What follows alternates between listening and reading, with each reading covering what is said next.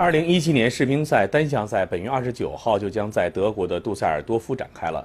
今天要说的是中国男乒的希望之星樊振东。四月中旬的无锡亚锦赛，樊振东在队友们失手的情况下守住自己这条线，直到最后击败了韩国队员丁祥恩夺冠。这样的成绩让教练组对他充满了信心。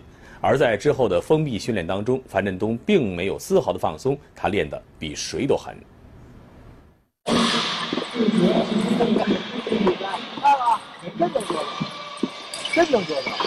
明白吗？差点八比二，你你要不是做一个这个附加动作紧张了，你就八比二了，这不可思议的时候，就这么大的这个距离，对不对？就这么大这么大的球台，而且必须逼着你拉是最难脚，最难的这个一个脚，连一样能做到七比三，对吧？这么大的球台，你比赛是往哪拉不行？所以训练的时候就是最高难度来要求。带着这种地心观点，特别到最后一个的连续两个，是吧？虽说七比三，但是你最后一个绝杀没拉到，绝杀就是十比九这球，拉上就是冠军。八比二，来，再来一组。这个我估计你有可能会够呛。你给他录啊，十个还是几个啊？录录录录这个。你说你就盯着这块啊，他从你这儿打过啊。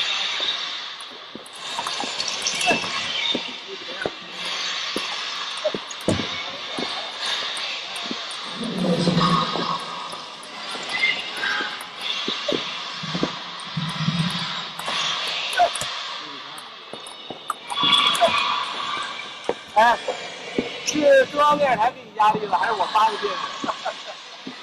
好几个球都开上，你看从七比三到三比七，这都有可能。你心态好的时候，状态好的时候，你拉到七比三，你觉得挺容易。要一旦换一个人，换一个节奏，他有这方面，他多少放在这自己有点干扰，是不是？多少自己有点干扰，这会儿就是抗干扰这种训练，不管什么样，是不是？外边噪音再大。旁边球台再大再乱，再有这种东西，你就是专心致志心无旁骛，只有这么大，抬手就有，不能瞄。心里一虚，一犹豫，都肯定跑。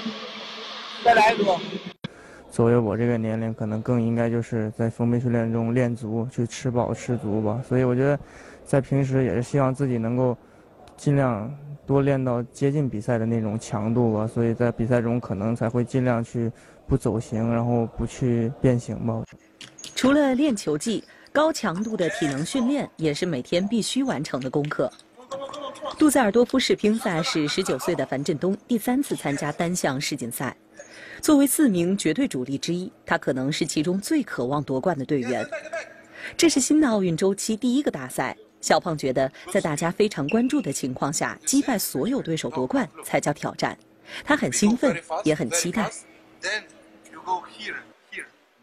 其实等来的东西，觉得就没有那么，就是真正到手的时候，没有那那种喜悦感会没有那么强嘛。但我我觉得，如果真正能够成为他们的对手，然后去战胜他们，这样对自己来说也是一个很大的肯定吧。